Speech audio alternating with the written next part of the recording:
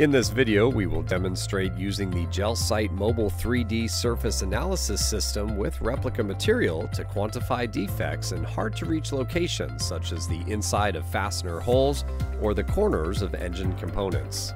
Traditional methods for analyzing and quantifying surface defects such as scratches, burrs, or corrosion typically involve visual or manual inspection for identification purposes, followed by the use of replica putty to create a mold of the defect for analysis in the metrology laboratory. While effective, can often take hours or days waiting for lab results, which hurts productivity and increases costs. The GelSight system enables direct measurement of the replica putty at the point of use, thus reducing the time to results from hours or days to a few minutes. Once it is determined that a visually observed defect requires quantification, the replica putty is applied to the area of the defect.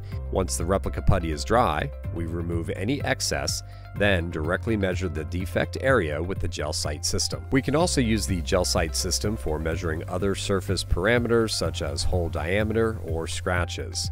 When used with replica putty for hard to reach areas, GelSight enables in situ micron level defect measurements. This results in lower inspection costs, higher production throughput, faster turnaround times, and lower inventory carry costs.